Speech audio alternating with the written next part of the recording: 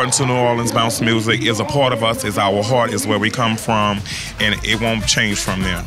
People wake up, eat it, sleep it, and drink it. You know, it's like a part of New Orleans. If you're a one-year-old baby to 99, you know about bounce music.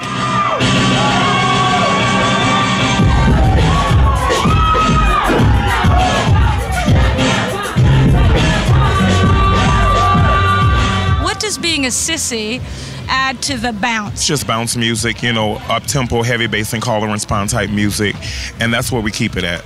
It must have been terrifying those first shows. If it's never happened before, that It was very terrifying, um, being that it was something new to the public. Um, people were like, "Oh my God, this is a gay guy rapping." You know, it was very rough in the beginning. You know, in certain places, but like for the most part, the girls made us feel very welcome. They accepted us everywhere we went, and that's what got us to where we're at now.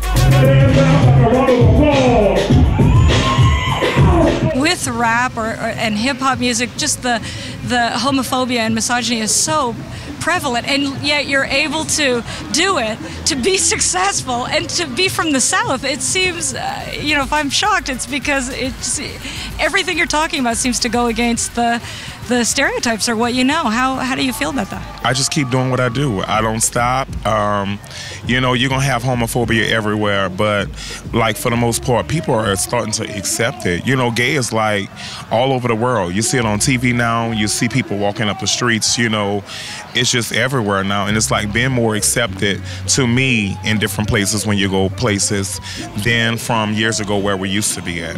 You know, people used to be like, "Oh, that gay guy," and "Oh, look at that big sissy" and stuff like that. But now it's like, "Hi, Freedia," you know, everywhere I go, boys, girls. Now wait a minute. Now wait a minute. Wait a minute. Wait a minute. Wait, wait a minute. Ah, Put it up. Put it up. Do you consider yourself a, a gay activist? For I would say, I would say because when I started this, I said that I was going to be the person that helped change the bounce game and change where people can be able to feel comfortable with a gay person and a gay artist where they can come up to me, say anything, feel comfortable enough to come to my shows. And I made sure I kept at it, kept at it, kept at it for a long time. Wow. So bounce your way into tolerance and a greater acceptance. Yes, definitely. Okay, now I just want you to hold this and watch my technique. Can you do that side to Side Side to side? Right side. All right, you got that good. Remedial bounce. you got that good. You have to slow it down. There's one-year-old babies that are better than me. Do you know how embarrassed I am? When we actually teach a class when we go out. Thank you so much for talking to me. Thank you so much.